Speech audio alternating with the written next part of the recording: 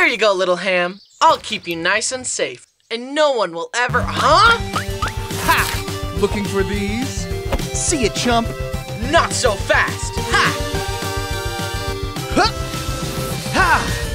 Ha! Ha ha! Face it, man. You've lost. I wouldn't count your hams before they hatch. A trap? No! And I've still got an ace up my sleeve. Ha! Oh! Ah, no!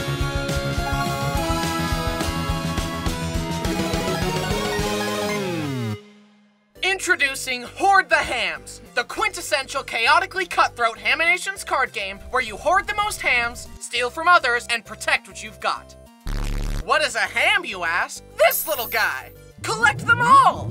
Mix and match to hoard the most hams possible by playing a match, run, or ham sandwich. Take from other people's hoards with steal actions.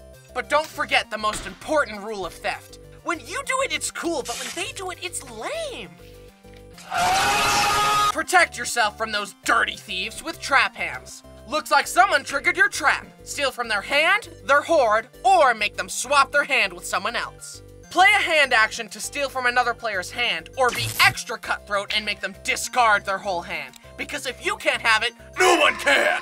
Want a break from the stealing, trapping, and gnashing of teeth? Use self-help cards to help yourself without hurting anyone else. Because we all deserve a little self-care. Also, don't worry if the cards magically come to life. That's normal. Even the best laid plans can be turned on their heads. That's why you always want to keep an ace up your sleeve. Use reaction cards as a last-minute counter.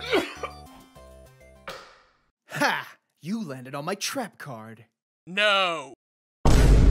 Don't worry, Brody. I'll attack him with Super Bryson. Hmm.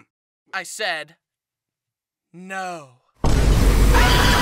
Strategize the best combo of placing traps, stealing cards, taking care of yourself, and counterattacking to come out on top in Hoard the Hams!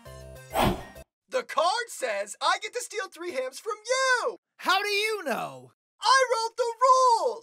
I hoarded these fair and square. Hoard this. So please, consider supporting Hoard the Hams today. Thank you. Hey guys, I'm so excited to finally get this game in front of you. We've been working on it for months and I can't believe it's finally here. Here's the box for the game, here are some of the cards we've been working on, and here are some of the exclusive rewards that you can get on Kickstarter. This is the Wizard Ham plush, here's the pin set, and this is the thick ham. We've taken extra care to make sure that this is all super high quality, and I really believe that this game will be a special experience for your family game nights. So please consider backing Hoard the Hams on Kickstarter today. Thank you.